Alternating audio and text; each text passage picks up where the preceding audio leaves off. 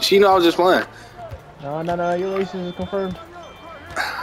I'm so sorry. Damn. Holy moly, uh, donut shop. Nigga just made me hard as fuck. Trey, bro, what the fuck? All right, bro.